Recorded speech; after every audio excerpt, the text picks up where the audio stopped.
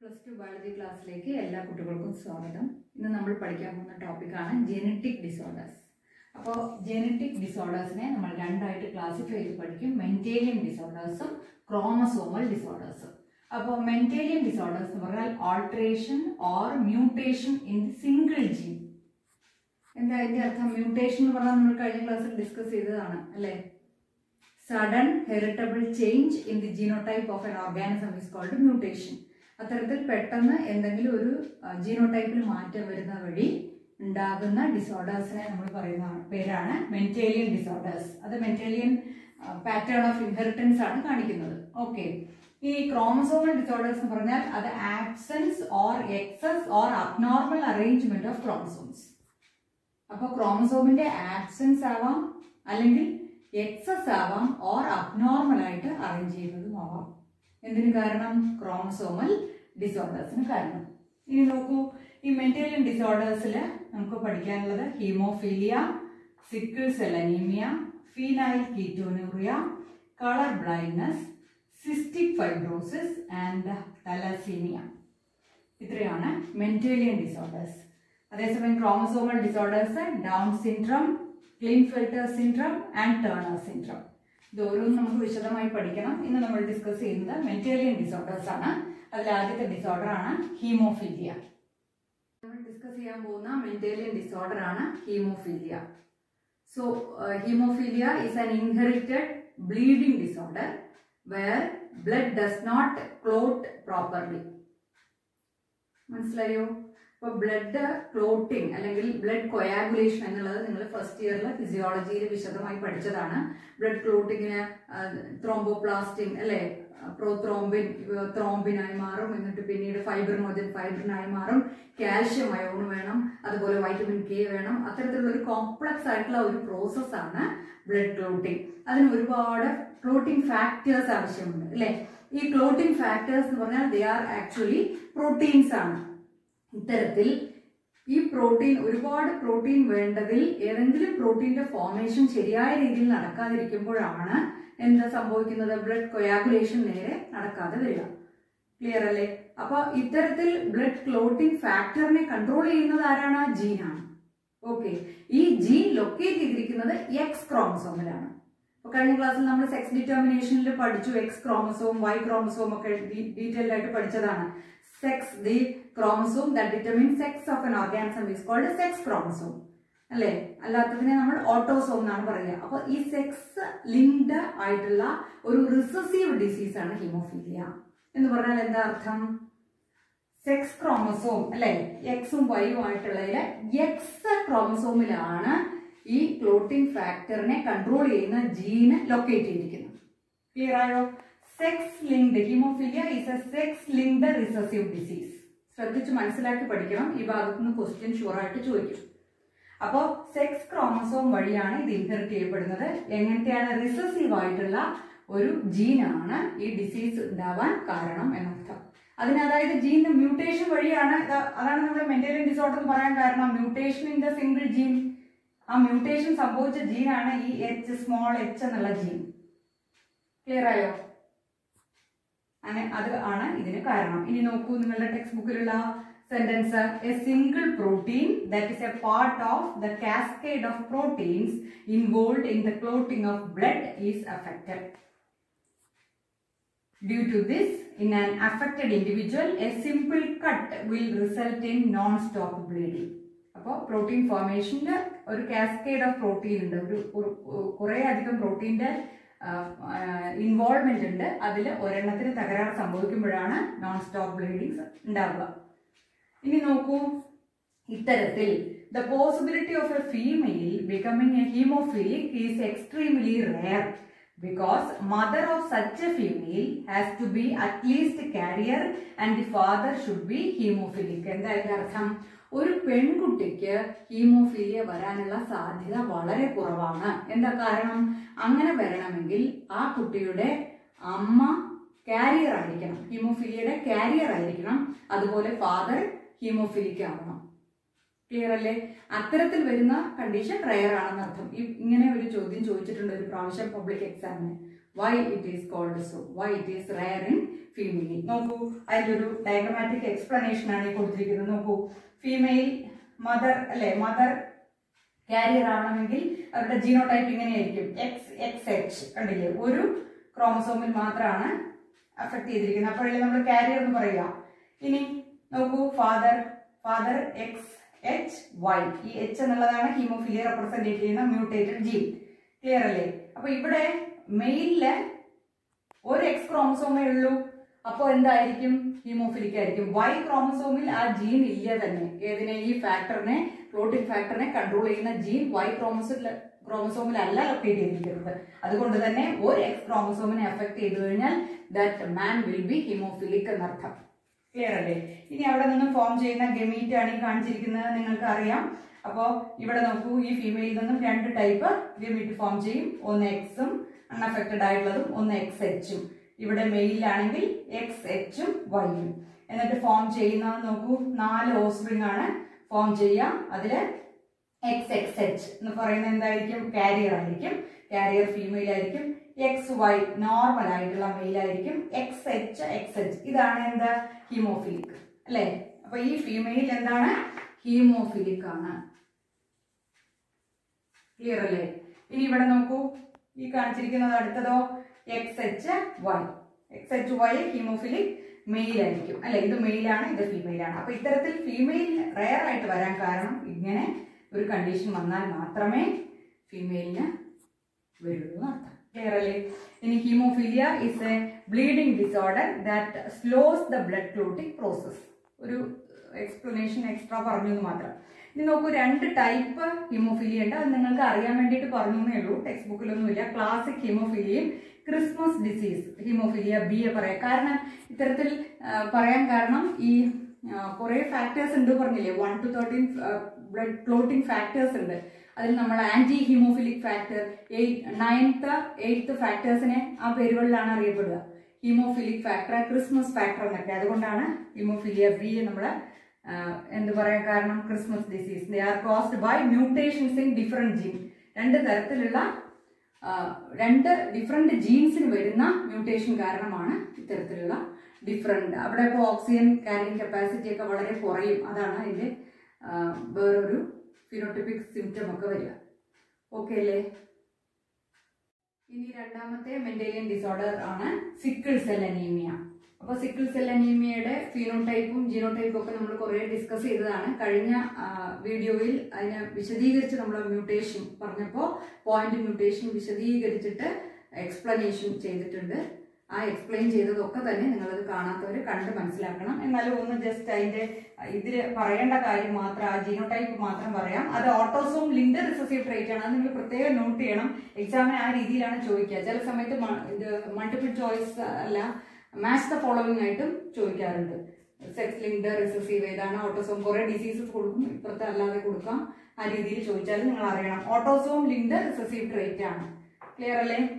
അതിൽ നോക്കൂ diseased phenotype എങ്ങനെ വരിക? H B S H B S ആണെങ്കിൽ ഡിസീസ്ഡ് ഫിനോടൈപ്പ് ആണ്. H B A H B S ആണെങ്കിൽ കാരിയർ ആയിട്ട് ആക്ട് ചെയ്യും അത് അതേസമയം H B A H B A ആണെങ്കിൽ ഡിസീസ് ഫ്രീ ആണ്. ഇത് വളരെ വിശദമായി ഡയഗ്രം ഒക്കെ വരച്ച് നമ്മൾ ആ ഡീറ്റെയിൽഡ് ആയിട്ട് പഠിച്ചതാണ്.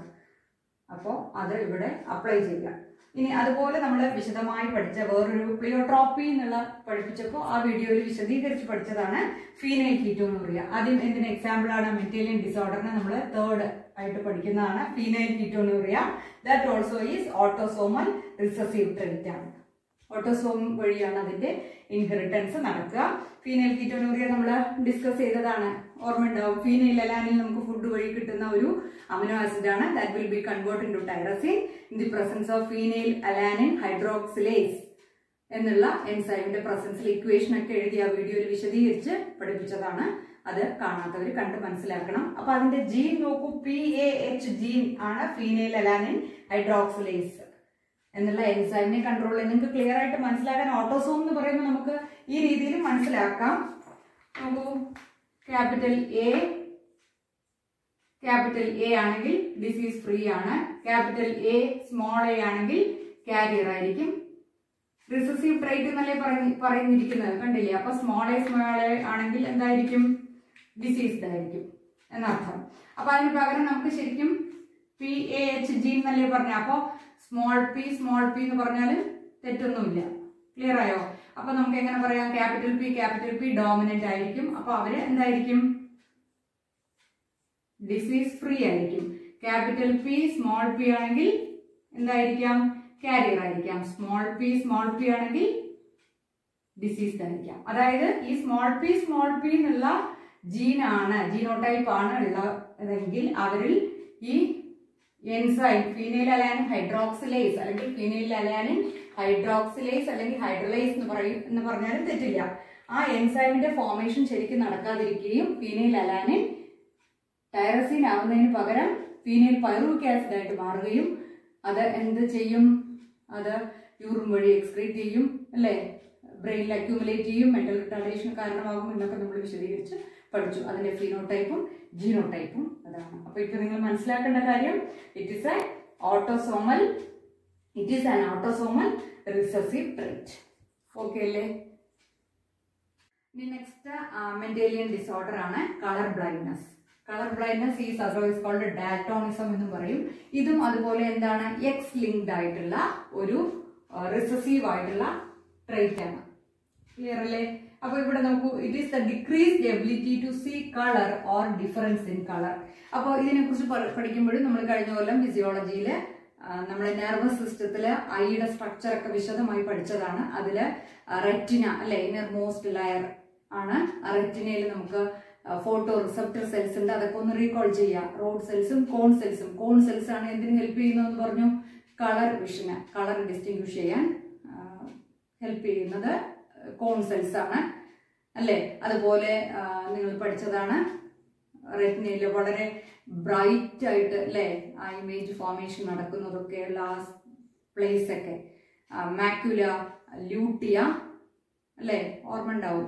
ആ മാക്യുല ലൂട്ടിയോ യെല്ലോ സ്പോട്ട് എന്ന് നമ്മൾ പറയും. മാക്യുല ലൂട്ടിയോ ആ മാക്യുല ലൂട്ടിയയിൽ തന്നെ കറക്റ്റ് ആയിട്ടുള്ള വളരെ സെൻസിറ്റീവ് ആയിട്ടുള്ള ബ്രൈറ്റ് വിഷൻ പോസിബിൾ ആവുന്ന ആ പ്ലേസിൽ നിന്നും ആ പോയിന്റിൽ നമ്മൾ എന്താ പറയുക ഫോബിയ സെൻട്രാലിസ് അതൊക്കെ നമ്മൾ പഠിച്ചതാണ്. അപ്പൊ നോക്കൂ ഇവിടെ എന്താ സംഭവിച്ചു കഴിഞ്ഞാൽ കളർ ഡിസ്റ്റിങ്വിഷ് ചെയ്യാനുള്ള കപ്പാസിറ്റി ബ്ലൈൻഡ്നെസ് എന്ന് പറഞ്ഞു കഴിഞ്ഞാൽ ടോട്ടലി ബ്ലൈൻഡ് എന്നുള്ള മീനിങ് അല്ല കേട്ടോ അതിന് പകരം ഡിസ്റ്റിങ്വിഷ് ചെയ്യാൻ ചില കളറുകൾ കൂടുതലായിട്ട് കാണപ്പെടുന്നത് റെഡ് ഗ്രീൻ ഡിസ്റ്റിങ്വിഷ് ചെയ്യാനുള്ള എബിലിറ്റി കുറയുക എന്നുള്ളതാണ്. അതും അതിനെ കൺട്രോൾ ചെയ്യുന്ന ജീനും എക്സ് ക്രോമസോമിലാണ് ലൊക്കേറ്റ് ചെയ്തിരിക്കുന്നത്. ക്ലിയർ ആയോ? അതുകൊണ്ട് തന്നെ മെയിലിൽ എന്ത് വരും മെയിൽ ഒരു എക്സ് ക്രോമസോം അല്ലേ ഉള്ളൂ. അപ്പോൾ ഒരു എക്സ് ക്രോമസോമിൽ അത് ആ ജീൻ വന്നു കഴിഞ്ഞു കഴിഞ്ഞാൽ എന്ത് ചെയ്യും? എന്താവും? കളർ ബ്ലൈൻഡ്നസ് വരാൻ സാധ്യത കൂടുതലാണ്. ഫീമെയിലിന് എക്സ് എക്സ് രണ്ട് ഇതിനും ക്രോമസോമിനും അഫക്ട് ചെയ്താൽ മാത്രമേ കളർ ബ്ലൈൻഡ് ആവുള്ളൂ. ഒരു എക്സ് ക്രോമസോമിൽ മാത്രമാണെങ്കിൽ അവരെന്തായിട്ട് ആക്ട് ചെയ്യും? കാരിയർ ആയിട്ട് ആക്ട് ചെയ്യും. ഓക്കെ അല്ലേ? നീ നോക്കൂ ശ്രദ്ധിക്കൂ. It is the decreased ability to see colour or difference in colour males are more likely to be colorblind than female because the gene responsible for the color blindness is located on X chromosome. Red-green color blindness is the most common form. Color blindness occurs when light-sensitive cells in the retina fail to respond appropriately to variations in wavelength of light that enable people to see an array of colors. നമ്മൾ ഏത് തരത്തിലാണ് അതിന്റെ റിഫ്ലക്ഷനും കാര്യങ്ങളും ഒക്കെ നമ്മൾ പഠിച്ചതാണ്. ഇപ്പൊ concept clear ആയാലും ഇവിടെ നമുക്ക് ഒരു എക്സ് സി എന്നുള്ളതാണ് സ്മോൾ സി അല്ലേ? അപ്പൊ അത്തരത്തിൽ എക്സ് എക്സ് സി വന്നു കഴിഞ്ഞാൽ കാരിയർ ഫീമെയിൽ ആയിരിക്കും. എക്സ് സി വൈ വന്നു കഴിഞ്ഞാൽ കളർ ബ്ലൈൻഡ് മെയിൽ ആയിരിക്കും. ഓക്കെ അല്ലേ? ഇനി അടുത്ത് നിങ്ങൾക്ക് പഠിക്കാനുള്ള ഒരു മെന്റേലിയൻ ഡിസോർഡർ ആണ് സിസ്റ്റിക് ഫൈബ്രോസിസ്. പഠിക്കാന്ന് പറഞ്ഞു കഴിഞ്ഞാൽ അതൊരു മെന്റേലിയൻ ഡിസോർഡർ എന്ന് മാത്രമാണ് ടെക്സ്റ്റിൽ പറയുന്നുള്ളൂ. ഒന്ന് ശ്രദ്ധിച്ചോളൂ. Genetic disorder caused by single autosome recessive gene. ഇവിടെ എന്താണ്? ഓട്ടോസോം ആണ് ഓട്ടോസോം വഴിയാണ്. സെക്സ് ലിങ്ക് അല്ല അതായത് സെക്സ് ക്രോമസോം വഴിയല്ല ഓട്ടോസോം വഴി ആണ് ഈ ജീൻ. റിസസീവ് ജീനാണ് ഇതിനെ കൺട്രോൾ ചെയ്യുന്നതെന്ന് അർത്ഥം it controls an enzyme which produces a glycoprotein which in turn causes formation of high viscosity clear ആവുന്നില്ലേ? Autosome വഴിയാണ് ഈ ഡിസീസ് എന്ത് ചെയ്യുന്നത്? ട്രാൻസ്മിറ്റ് ചെയ്യുന്നത്. ഓട്ടോസോമിൽ റിസസീവ് ജീനാണ് അപ്പൊ ആ ജീൻ എന്തിനെ കൺട്രോൾ ചെയ്യുന്നു? അത്തരത്തിൽ റിസസീവ് ജീൻ ഉണ്ടെങ്കിൽ അവരിൽ ഒരു എൻസൈമിന്റെ ഫോർമേഷൻ നടക്കുകയും ആ എൻസൈം ഒരു ഗ്ലൈക്കോ പ്രോട്ടീൻ ഫോം ചെയ്യാൻ കാരണമാകും. അത് ഹൈ വിസ്കോസിറ്റിക്ക് ഉണ്ടാവും. ആ ഹൈ വിസ്കോസിറ്റി എന്ന് പറഞ്ഞു കഴിഞ്ഞാൽ അത് നമ്മുടെ ഏതൊക്കെ ഗ്ലാൻഡ് എക്സോക്രൈൻ ഗ്ലാൻഡിനെ അഫക്ട് ചെയ്യും. എക്സോക്രൈനും എൻഡോക്രൈൻ ഗ്ലാൻഡും ഒക്കെ ഫസ്റ്റ് ഇയറിൽ പഠിച്ചതാണ്. എൻഡോക്രൈൻ എന്ന് പറഞ്ഞാൽ ഡക്ട്ലെസ് ഗ്ലാൻഡ് ആണ്. എക്സോക്രൈൻ പറഞ്ഞു കഴിഞ്ഞാൽ ഡക്റ്റഡ് ഗ്ലാൻഡ് ആണ്. അല്ലെ? അപ്പൊ നമ്മുടെ ലിവർ പാൻക്രിയാസ് സ്കിന്നിലൊക്കെ അത്തരത്തിൽ എക്സോക്രൈൻ ഗ്ലാൻഡ് ഉണ്ട്. അപ്പൊ അത്തരത്തിൽ ഈ പറഞ്ഞ എക്സോക്രൈൻ ഗ്ലാൻഡ്സിനെല്ലാം അഫക്ട് ചെയ്യും. അതിന്റെ ഫംഗ്ഷനൊക്കെ തകരാറിലാവുന്ന അർത്ഥം. അങ്ങനെ ഉണ്ടാകുന്ന ഒരു ഡിസീസാണ് സിസ്റ്റിക് ഫൈബ്രോസിസ് അപ്പൊ ഇവിടെ നിങ്ങൾ ഇത് മാത്രം മനസ്സിലാക്കിയാൽ മതി. ഓട്ടോസോം റിസസീവ് ജീനാണ് അതിന്റെ എക്സ്പ്ലനേഷൻ കൂടുതൽ ഡീറ്റെയിൽ ഒന്നും നിങ്ങൾക്ക് സിലബസ് പ്രകാരം പഠിക്കാനില്ല. അറിയാനായിട്ട് പറഞ്ഞു മാത്രം. ഇനി അടുത്തതാണ് താലസീമിയ നോക്കൂ thalassaemia also is a autosomal recessive disease thalassaemia എന്നുള്ളത് ഒരു ബ്ലഡ് ഡിസോർഡർ ആണ്. അപ്പൊ ഈ ഡിസോർഡർ ഉള്ളവരിൽ ഹീമോഗ്ലോബിന്റെ എമൗണ്ട് കുറവായിരിക്കും. അതുപോലെ തന്നെ ആർ ബി സിയുടെ അളവും എണ്ണവും കുറവായിരിക്കും. ഓക്കെ ഹീമോഗ്ലോബിൻ എന്നുള്ളത് പ്രോട്ടീൻ ആണ് നിങ്ങൾക്ക് അറിയാം ഹീം എന്നുള്ളത് അയൺ കമ്പോണന്റും ഗ്ലോബിൻ എന്നുള്ളത് പ്രോട്ടീനുമാണ് അത്തരത്തിലുള്ള ഒരു പിഗ്മെന്റ് ആണ് എന്താ? ഹീമോഗ്ലോബിൻ അപ്പൊ ഈ ഹീമോഗ്ലോബിന്റെ അളവ് കുറവായിരിക്കും അല്ലെ? Fourteen milligram fourteen to sixteen ആണ് നോർമൽ ആയിട്ട് വേണ്ടത്. അതിലും കുറവായിരിക്കും. അതുപോലെ തന്നെ ആർ ബി സിയുടെ അളവും ആർ ബി സി കൗണ്ട് നിങ്ങൾ ഫസ്റ്റ് ഇയറിൽ പഠിച്ചതാണ് four point five to five point five million per cubic millimetre of blood എന്നൊക്കെ പഠിച്ചില്ലേ? ആർ ബി സി കൗണ്ട് അത് കൂടിയാലുള്ള ഡിസീസ് കണ്ടീഷനും കുറഞ്ഞാലുള്ള കണ്ടീഷനും ഒക്കെ ഫസ്റ്റ് ഇയറിൽ പഠിച്ച പഠിച്ചതാണ്. പോളിസൈറ്റീമിയ എറിത്രോസൈറ്റോപീനിയ എന്നൊക്കെയാണ് അത് അറിയപ്പെടുക അപ്പോൾ അത്തരത്തിൽ ഇതിന്റെ അളവ് സാധാരണയെക്കാട്ടിലും കുറഞ്ഞ അവസ്ഥയാണ് താലാസീമിയ ഓക്കെ അപ്പോൾ അതൊരു ഓട്ടോസോം റിസസീവ് ട്രൈറ്റ് ആണ്. ഇനി ശ്രദ്ധിക്കൂ. A blood disorder involving lower than normal levels of an oxygen carrying protein that is hemoglobin and fewer RBC in blood than normal. Okay അതാണ് അതിന്റെ ഫിനോട്ടിപ്പിക് ആയിട്ടുള്ള characteristic feature adult haemoglobin is composed of two alpha and two beta polypeptide chains അപ്പോൾ നിങ്ങൾക്കറിയാം haemoglobin molecule എന്നുള്ളത് രണ്ട് ആൽഫയും ചെയിനും രണ്ട് ബീറ്റ ചെയിനുമായിട്ടുള്ള പോളിപെപ്റ്റൈഡ് ചെയിൻ ചേർന്നാണ് ഉണ്ടാവുക. ഈ polypeptide ചെയിനിന്റെ formation in turn it is controlled by എന്താണ്? ജീൻ അപ്പൊ ഈ ജീൻ ആൽഫ ചെയിനെ കൺട്രോൾ ചെയ്യുന്ന രണ്ട് ജീനാണ് അപ്പൊ ആ ജീനിൽ എന്തെങ്കിലും എന്താ സംഭവിക്കാം? മ്യൂട്ടേഷൻ അല്ലെ? അങ്ങനെ മ്യൂട്ടേഷൻ വരുമ്പോഴാണല്ലോ നമ്മൾ മെന്റലിൻ ഡിസോർഡർ എന്ന് പറയുക. ആ മെന്റലിൻ ഡിസോർഡറിന്റെ പെടുന്ന ഡിസീസസ് അല്ലേ നമ്മൾ ഡിസ്കസ് ചെയ്യുന്നത്. അത്തരത്തിൽ മ്യൂട്ടേഷൻ സംഭവിക്കുമ്പോൾ അങ്ങനെ രണ്ട് തരത്തിലുള്ള തലസീമിയ നമ്മൾ പറയും. ആൽഫ തലസീമിയയും ബീറ്റ തലസീമിയയും. നോക്കൂ there are two copies of haemoglobin alpha gene H B A one and H B A two which each encode and alpha chain and both genes are located on chromosome sixteen അപ്പോൾ ഈ alpha ചെയിനെ control ചെയ്യുന്ന ജീനാണ് alpha gene അല്ലേ? ആ alpha ജീന് എന്താ രണ്ട് copy ഉണ്ട്. കേട്ടോ H B A വണ്ണും എച്ച് ബി എ ടൂവും ക്ലിയർ അല്ലേ? അത് ക്രോംസോം സിക്സ്റ്റീനിലാണ് ലൊക്കേറ്റ് ചെയ്തിരിക്കുന്നത്. ഓട്ടോസോം എന്ന് പറഞ്ഞില്ലേ? ക്രോംസോം സിക്സ്റ്റീനിലാണ് ലൊക്കേറ്റ് ചെയ്തിരിക്കുന്നത്. അതേസമയം haemoglobin beta gene H B B encode the beta chain and is located on chromosome eleven അപ്പോൾ ബീറ്റ ചെയിനെ കൺട്രോൾ ചെയ്യുന്നത് ബീറ്റ ജീൻ ആണ്. അത് ലൊക്കേറ്റ് ചെയ്തിരിക്കുന്നത് ക്രോമസോം ലെവനിലാണ് അപ്പോൾ ഈ alpha thalassaemia there is deficient synthesis of alpha chain and in beta thalassaemia there is a deficient synthesis of beta chain clear ആയോ? അതാണ് ഇത്തരത്തിലുള്ള ഫിനോടൈപ്പിന് വരാൻ കാരണം. അപ്പൊ എന്തായിരിക്കും? ഓട്ടോസോം റിസസീവ് ഡിസീസ് എന്ന് പറഞ്ഞു. അപ്പൊ നമുക്കിത് സിമ്പിൾ ആയിട്ട് നേരത്തെ പറഞ്ഞ പോലെ തന്നെ സ്മോൾ എ സ്മോൾ എ അല്ലേ? ഓട്ടോസോം സിമ്പിൾ ആയിട്ട് നമുക്ക് പറയുകയാണെങ്കിൽ ഇങ്ങനെ ഇതായിരിക്കും ഡിസീസ്ഡ് ആയിട്ടുള്ള എന്ത്? ജിനോടൈപ്പ് എന്നർത്ഥം. അപ്പൊ ഇന്ന് നമ്മൾ പഠിച്ച മെന്റലിയൻ ഡിസോർഡേഴ്സിനെ രണ്ട് രീതിയിൽ നിങ്ങൾ ക്ലാസിഫൈ ചെയ്തിട്ട് എഴുതി വെക്കുകയും കൂടി വേണം. അതിൽ സെക്സ് ലിങ്ക്ഡ് റിസസീവ് ഡിസീസസ് ആണ് നമ്മൾ ഡിസ്കസ് ചെയ്ത ഹീമോഫീലിയ ആൻഡ് കളർ ബ്ലൈൻഡ്നസ് അപ്പോൾ ഹീമോഫീലിയയിൽ ഒരു കാര്യം കൂടി പറയാനുണ്ടായിരുന്നു. ക്യൂൻ വിക്ടോറിയ അല്ലെ? വിക്ടോറിയ രാജ്ഞി ഒരു ഹീമോഫീലിയയുടെ ഒരു കാരിയർ ആയിരുന്നു. അവരുടെ ഫാമിലിയിൽ ഒരുപാട് ഡിസെൻഡൻസിന് ഈ ഹീമോഫീലിയ ഡിസീസ് ഉണ്ട്. അതിന്റെ പെഡിഗ്രി നമ്മൾ കഴിഞ്ഞ ക്ലാസ്സിൽ പെഡിഗ്രി ഡിസ്കസ് ചെയ്തതാണ്.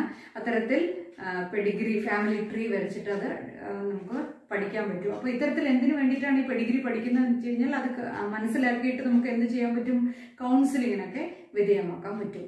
ഓക്കെ അത്തരത്തിൽ സാധ്യതകൾ. പിന്നീട് വരുന്ന ജനറേഷനിൽ ആർക്കൊക്കെ വരാം? എങ്ങനെയൊക്കെയാണ് അതിന്റെ ജീനിന്റെ ട്രാൻസ്മിഷൻ എന്നുള്ളത് മനസ്സിലാക്കിയിട്ട് പറഞ്ഞു കൊടുക്കാൻ സാധിക്കുന്ന അർത്ഥം. അപ്പോൾ ഇത് രണ്ടും നിങ്ങൾ മനസ്സിലാക്കിയിരിക്കണം അതുപോലെ തന്നെ കളർ ബ്ലൈൻഡ്നെസ്സും അത്തരത്തിൽ ഡിസ്റ്റിംഗ്വിഷ് ചെയ്യാൻ കളർ ഡിസ്റ്റിംഗ്വിഷ് ചെയ്യാൻ ബുദ്ധിമുട്ടുള്ള റെഡും ഗ്രീനും കളർ ബ്ലൈൻഡ്നെസ് ഒക്കെ ഉള്ളവർക്ക് ചില രാജ്യങ്ങളിലൊക്കെ ഇതുപോലെ ഇൻഎലിജിബിൾ ആണ് എലിജിബിൾ ആണ് അവർ ചില ജോലികൾക്കൊക്കെ ലെയർ ക്രാഫ്റ്റിൽ അതുപോലെ റെയിൽവേ ഇല്ലേ അതിലൊക്കെ സിഗ്നലിംഗ് സംവിധാനം വഴി നമുക്ക് ബന്ധപ്പെട്ടിട്ടുള്ള വർക്കുകളിലൊക്കെ വരുന്നവർക്ക് അത് വളരെ ബുദ്ധിമുട്ടുള്ള ഒരു ജോലി ജോലിയായിരിക്കും. ഓക്കെ ഇനി നോക്കൂ ഓട്ടോസോം റിസസീവ് ആയിട്ടുള്ളതാണ് സിക്കിൾ സെൽ ഫീനൈൽ കീറ്റോനൂറിയ അല്ലെങ്കിൽ P K U then cystic fibrosis and thalassaemia അപ്പൊ ഇങ്ങനെ കാറ്റഗറൈസ് ചെയ്ത് പഠിച്ച് നന്നായിട്ട് മനസ്സിലാക്കണം. രണ്ടെണ്ണേ ഉള്ളൂ എന്ത് സെക്സ് ലിങ്ക് റിസസീവ് ഡിസീസ് നിങ്ങൾക്ക് പഠിച്ചതിൽ ഓക്കെ അല്ലേ? പഠിച്ചതൊക്കെ നന്നായി മനസ്സിലായി കാണുമെന്ന് വിചാരിക്കുന്നു. അപ്പോൾ നന്നായി. ഇപ്പൊ തന്നെ എക്സാമിന് പ്രിപ്പയർ ചെയ്തോളുക ഓക്കെ